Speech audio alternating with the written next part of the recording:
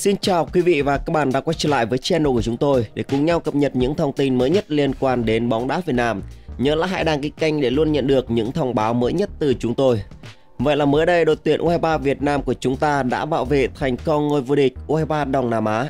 Chứng kiến màn trình diễn của đội tuyển U23 Việt Nam đánh bại U23 Indonesia, các cổ động viên bóng đá trong khu vực cũng như là cổ động viên bóng đá Indonesia đã có phần tâm phục khẩu phục và tôn trọng đến thầy và trò huấn luyện viên Hoàng Anh Tuấn. Theo đó thì U23 Việt Nam và U23 Indonesia đã cống hiến cho khán giả một trận đấu chung kết rất kịch tính và cảm xúc.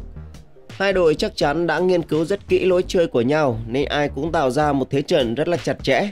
Tuy nhiên trong hai hiệp đấu chính thức, đôi lần Việt Nam và Indonesia cũng tạo ra được những cơ hội ăn bàn rõ rệt những cú sút penalty hỏng an của quốc Việt hay pha đá phạt cực mạnh dội sang ngang của Sanata không làm khung thành của đối phương rung lên và không có thể cụ thể hóa những cơ hội thành những bàn thắng. Bước vào hai hiệp phụ, Indonesia là đội nhịn hơn đôi chút do nền tảng thể lực sung mãn hơn. Họ đã suýt nữa đặt dấu chấm hết cho đội tuyển U23 Việt Nam nếu như Quan Văn Chuẩn không xuất sắc trong tình huống đối mặt với tiên đạo Sanata và cản phá cú sút bồi sau đó nữa. Đến loạt sút luân lưu đầy mai rủi, à, tiếp tục là sự tỏa sáng và bản lĩnh của Quan Văn Chuẩn và các đồng đội đã giúp cho U23 Việt Nam đánh bại U23 Indonesia đầy kỳ tính.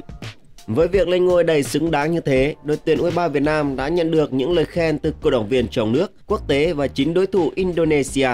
Xin chúc mừng Việt Nam, cả hai đội đều mạnh ngang nhau. Đây là một trận đấu rất hay. Một cổ động viên đến từ Indonesia cho hay. Không có gì phải tiếc cả, cả hai đội đều rất tốt. Trận đấu đã kéo dài đến 120 phút, phần còn lại là may mắn. Một cổ động viên khác của Indonesia cũng bình luận, trận đấu thật hấp dẫn.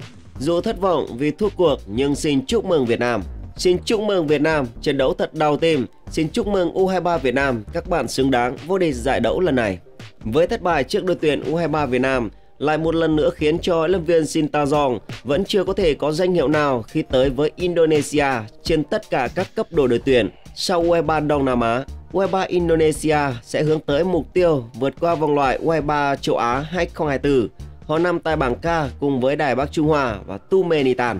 Quay trở lại với đội tuyển U23 Việt Nam, sau khi dành những lời khen, những lời tôn trọng đến từ các cổ động viên khu vực Đông Nam Á, thì Khuất Văn Khang cùng với các đồng đội đã nhận được rất nhiều những quan tâm về mặt tinh thần cũng như là vật chất đến từ Liên đoàn bóng đá Việt Nam VFF. Ngay sau trận chung kết, Chủ tịch VFF Trần Quốc Tuấn đã thay mặt thường trực Ban chấp hành Liên đoàn bóng đá Việt Nam chúc mừng thành tích của toàn đội, thượng động viên cho đội tuyển U23 Việt Nam 1 tỷ đồng dành cho thành tích giành ngôi vô địch. Như vậy là tính toàn giải, đội tuyển U23 Việt Nam được Liên đoàn bóng đá Việt Nam thưởng tổng cộng 1,8 tỷ đồng sau hành trình 4 trận toàn thắng lần lượt trước đội tuyển U23 Lào với tỷ số 4-1, U23 Philippines với tỷ số 1-0, U23 Malaysia với tỷ số 4-1 và cuối cùng đó chính là chiến thắng trước Indonesia trên chấm luân lưu với tỷ số 6-5. Đây chắc chắn là một món quà đáng giá, giúp cho toàn đội thêm tự tin trước khi bước tiếp vào ASEAN 19 sắp tới.